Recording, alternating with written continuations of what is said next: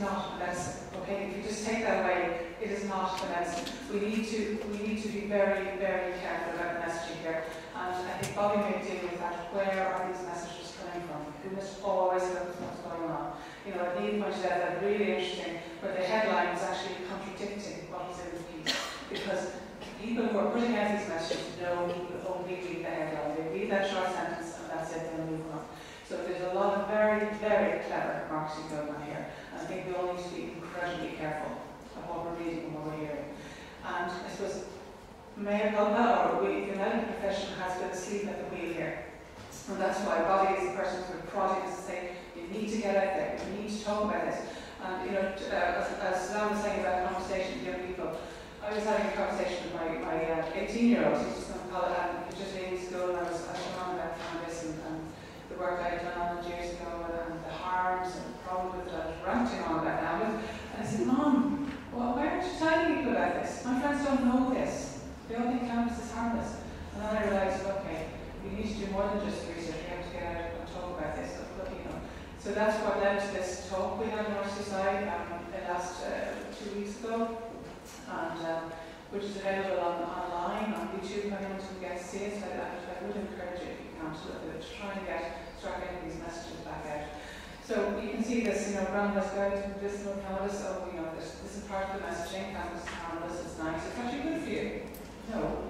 Um, what I want to show is actually cannabis leads to serious issues like psychosis, depression, anxiety, and suicidality. Um, and I suppose where I came at this, um, I think I think maybe not only Colin probably done and Bobby a lot of this, but cannabis, I suppose it's there are a lot of confused messages, but cannabis is very complicated. Okay, that's the other thing we need to know. Very complicated. Um, so it, it actually contains about 100 different compounds. Alright? Now the two main ones, and these are called cannabinoids, the two main ones we talk about are THC, which is tetrahydrocannabinol, and cannabidiol, which is CBD. They're the ones you hear most about.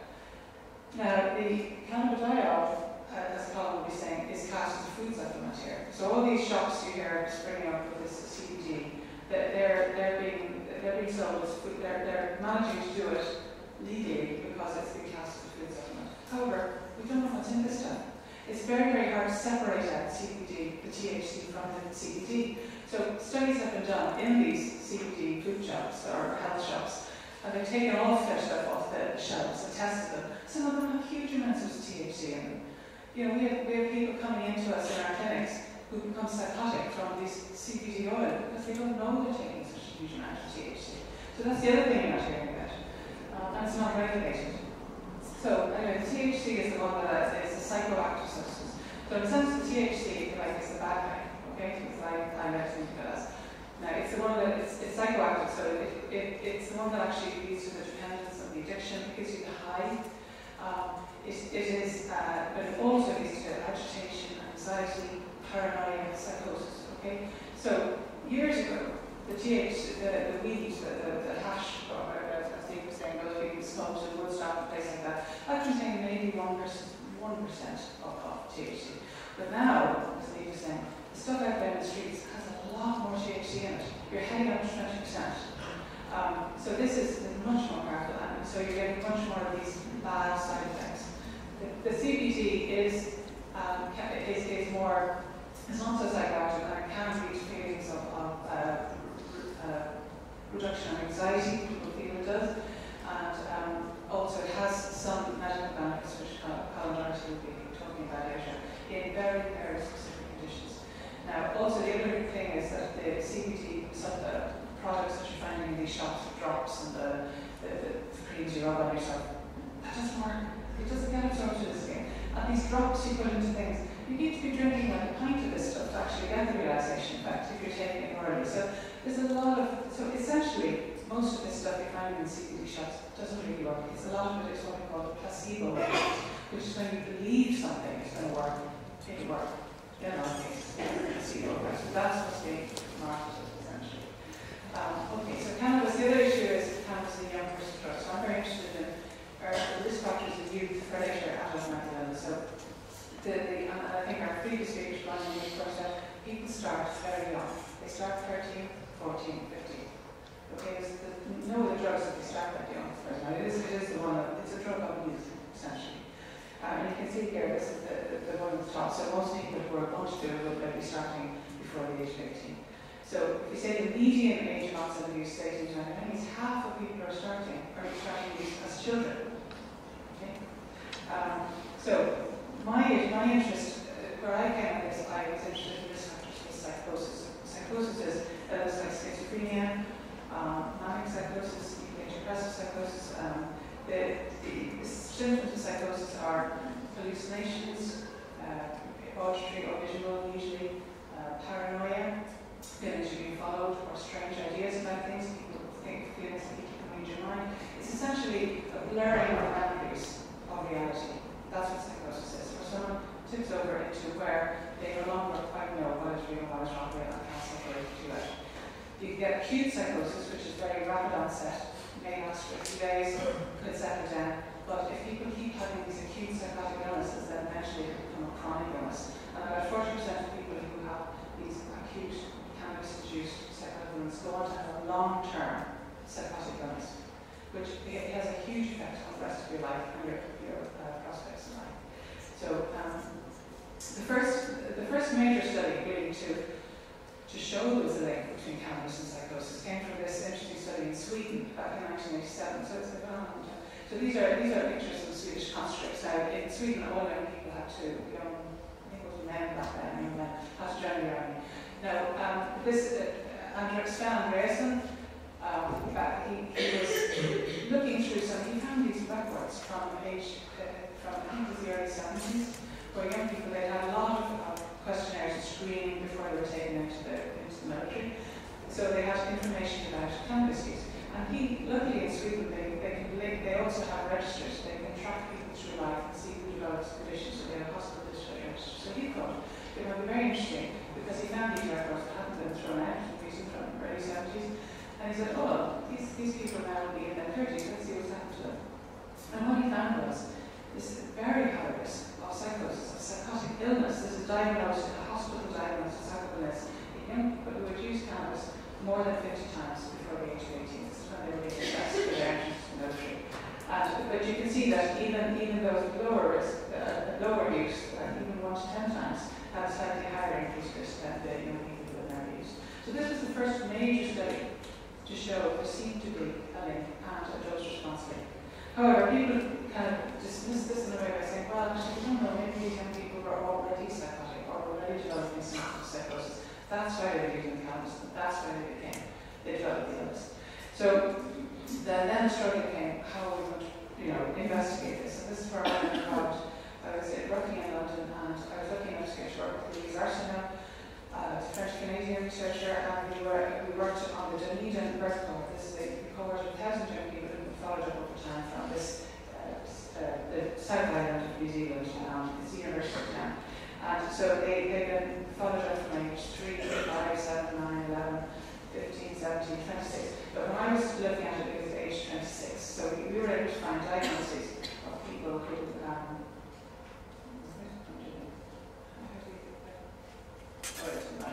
um, okay, so the, the, good thing about the study is that they had not about nine, over 90% of them. So um, people. So 3.7% have developed schizophrenia. Oh, thank you. Schizophrenia spectrum disorder at age, at age 26.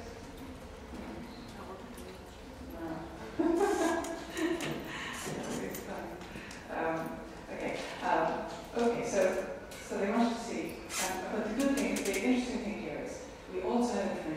whether they, these young people have an experience of psychotic symptoms of yeah, but these are surprisingly common in the population, and they're usually transient and usual. They're, they're subject I that would be fascinating. But yeah, a lot of young people do experience now and then hearing voices or experiencing being being found out that affect their messages something to them. So we have information about that. So in the, in the cohort of these uh, 1,000 people, so information on schizophrenia, age 6, cannabis use at mid adolescence, and psychotic symptoms at 11.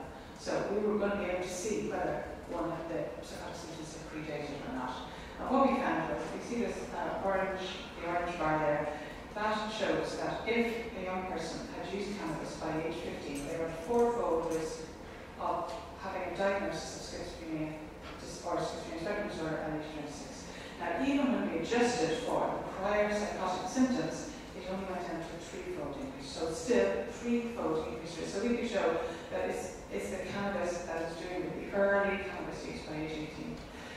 And then, so in this sample, 10% of those young people who were using cannabis by age 15 were later diagnosed age 26 with schizophrenia. Now that is incredibly high. So you think about a class of young people, one in, one in 10. If they're heavy cannabis, or heavy early cannabis users, you're talking about one in 10 developing a psychotic illness in their 20s. Okay? So this is not something that can be dismissed. Alright? Um, now the evidence began to build up then because everyone got interested in this topic. Uh, people were finding cohorts that they could. So if you can see here, the odds ratios are lower there. That's the risk, okay? So you're talking about twofold, threefold, threefold, fourfold, okay? So everyone's showing this, okay? So pretty, every study that has looked at the relationship between cannabis and psychosis has found a relationship, okay? So don't let people who are promoting cannabis say, oh, correlation doesn't mean causation.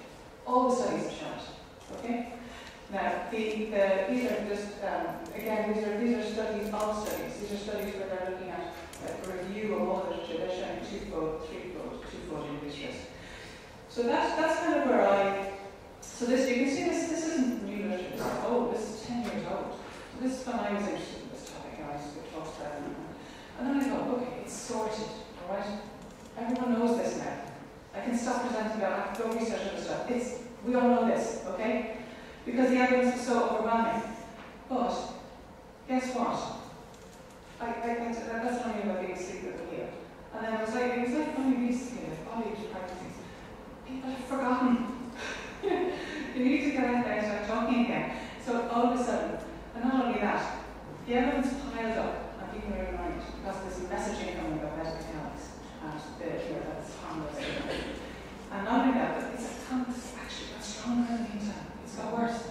Um, the, a study that has recently shown this is, this was a study that's come out recently in uh, 2018, but this is Hannah Jongsma this rather exotic looking person here. She, she, um, this was a study looking at, at rates of psychosis of baby schizophrenia all over Europe. Okay, so they 17 different centers, huge amount of money went into this study from the European Union. So they, they did an incidence study, so um, measuring how much how many people developed schizophrenia over, uh, I think it was a three to five year period in each of these uh, 17, I think there 17 centres all over Europe. And as you see, see there are numbers of young people. That's why cannabis is so worrying, because cannabis is a drug in people, but psychosis is numbers of young people. So it basically, if you get past your, your, your 30s without having had psychosis, you're probably not going to get it. Um, so this was, uh, sorry, this is uh,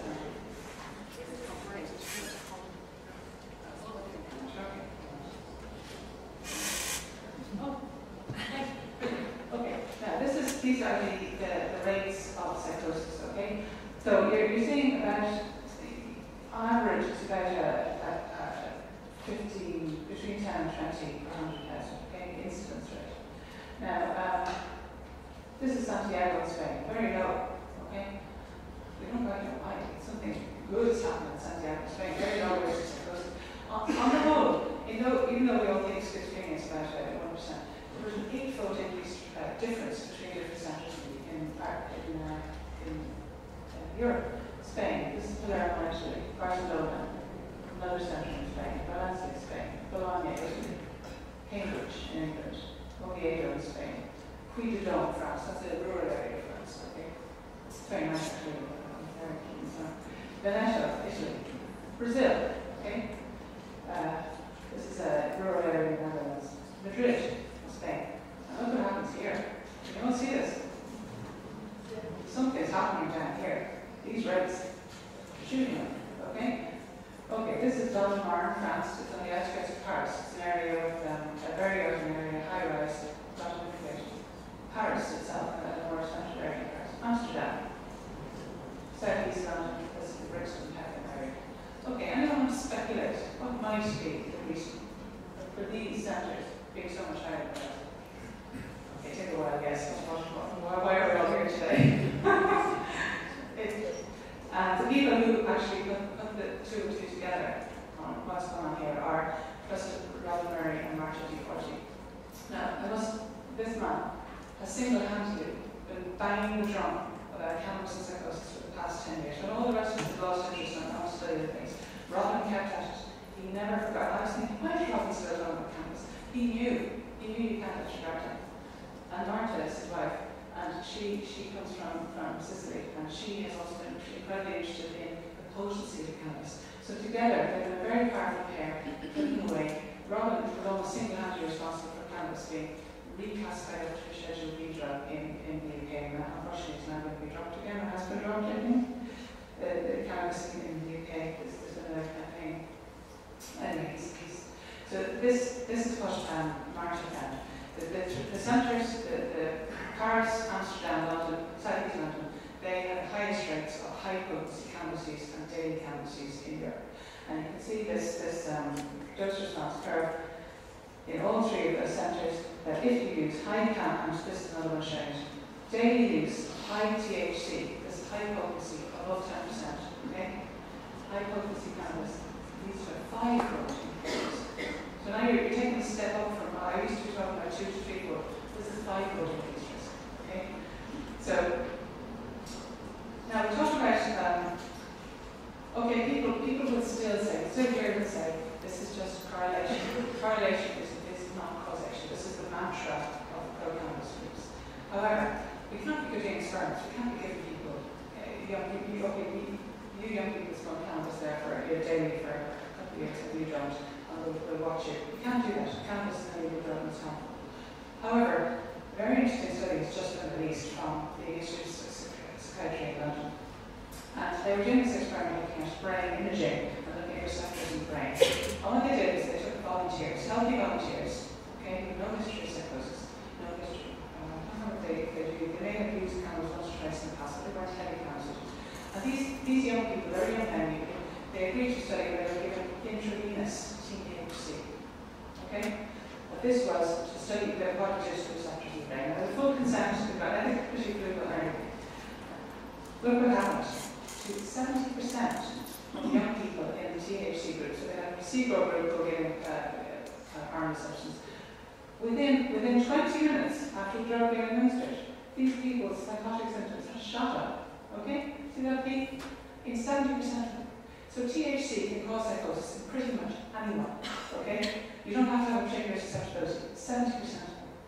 Now you can see it drops down two and a half hours after the um, after the drug. However, can you imagine if you keep if you're keeping smoking this high potency cannabis day after day after day?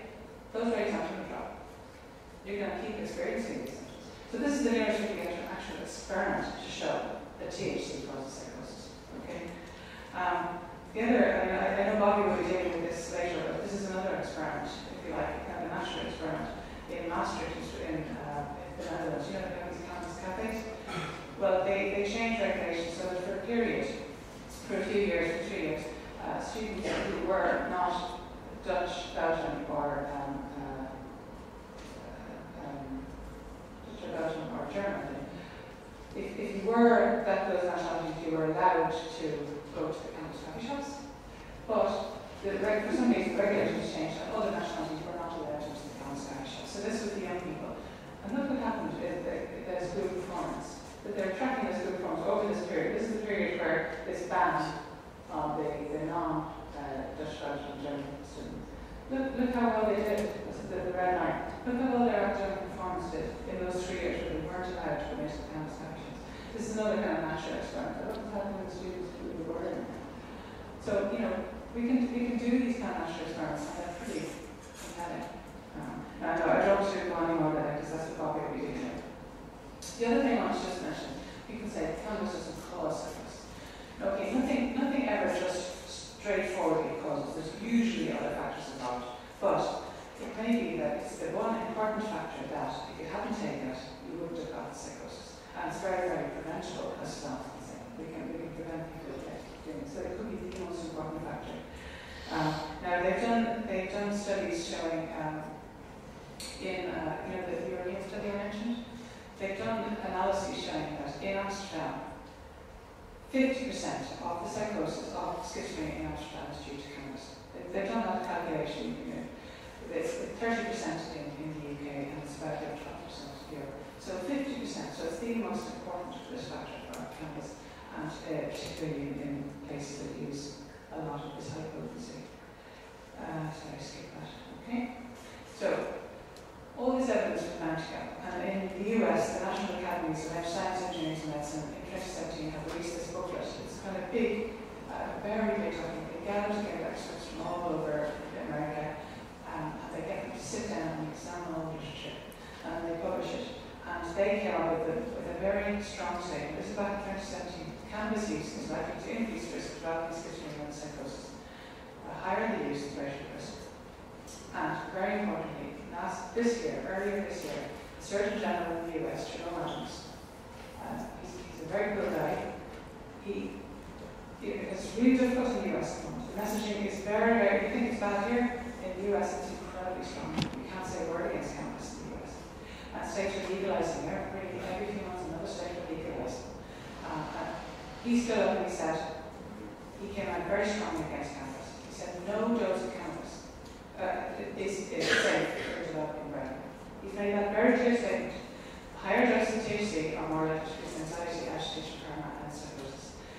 Um, because there's also a risk that people are using this stuff in pregnancy women in pregnancy are using uh, cannabis to, to help help them calm down, or if they're told it's good for them. They, you know, they, these are putting the development brain at risk. So um, I think this statement will be available online for everybody. It's very, very clear. Now, I just want to move on to um, the other thing. Bobby asked me to cover uh, depression and anxiety, suicidality. So, um, I'm sorry, I'll talk a bit about psychosis I'm really interested in. But this if you want to read one study about uh, it's this one about depression, anxiety, suicidality in young people, it's the Gabriella Gobbi study. She's a Canadian researcher. Now, she's, she, she came out from, she was doing research into rats, and, and I think she was actually interested in whether cannabis was useful for helping depression in people. So she, she decided to look at literature doing, in a scientific way. And they looked at all the studies they could find, looking at early use in adolescents and risk of depression, anxiety, suicide, obviously later in life. And they, they've done this what we call a, meta-analysis where they pool all the studies and we come up with one figure which takes into account all the, all the different uh, evidence. And what she found was that this is, that this is the line of no effect, okay? In the middle.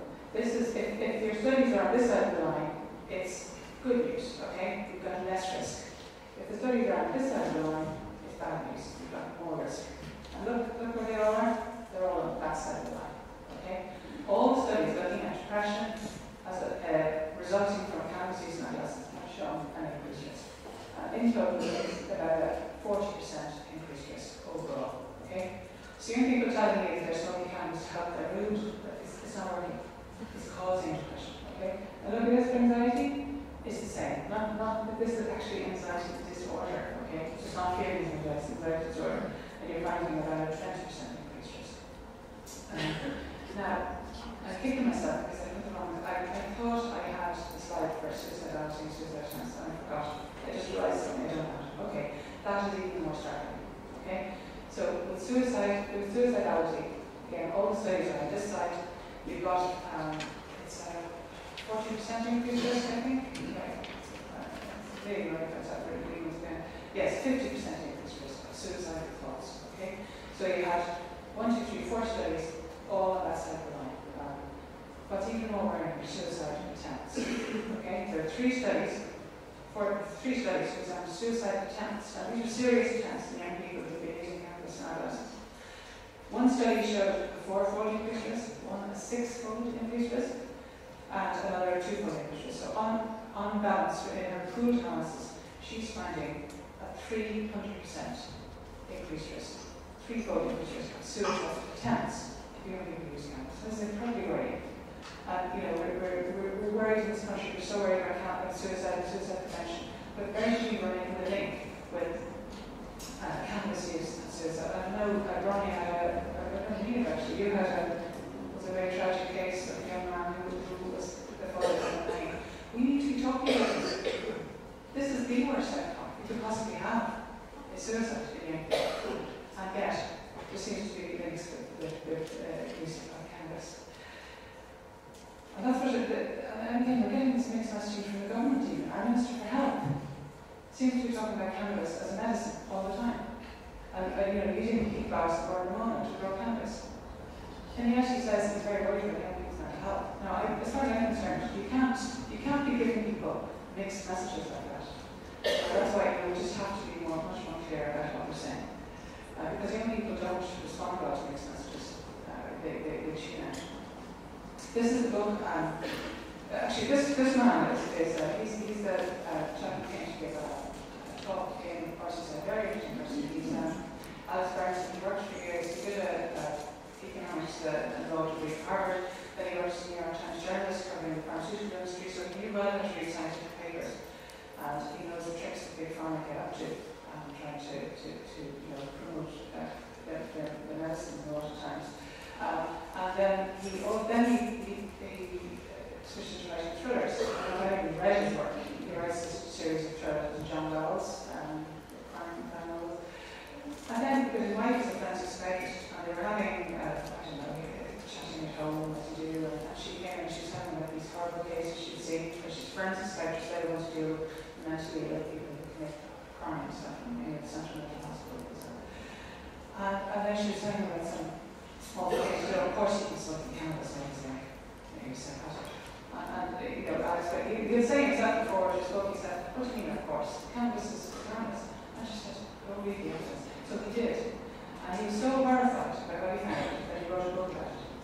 And book, and it's incredibly readable. If you want to get scientific literature in a very readable, tasty way, because he's a writer, he's a thriller writer, he writes but I can his work is good. Um, and it's, it's all evidence-based. Uh, he's written this book, and he's also taken a step further, I think it was very interesting what Dave has said about the violence. I think the parents are identifying violence and, and aggression. He has, he, he's taken things a step forward. He's shown, I think, these early cannabis and violence. The cannabis, the psychosis that results from THC is a very paranoid psychosis, a very impulsive psychosis, and a very rapid onset psychosis. So it can be associated with violence and murders onset. Uh, so it's, it's he's, he's, he's got a lot of flack for that, he's got a lot, caused a lot of controversy in the US,